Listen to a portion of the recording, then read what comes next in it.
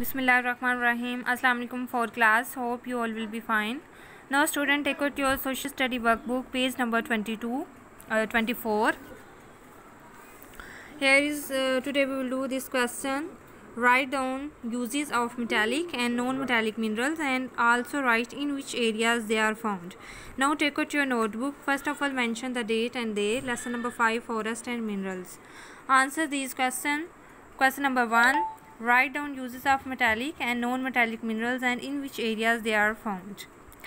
The answer is metallic uh, materials contain one or more metallic elements. They are mostly found in igneous and metamorphic rocks.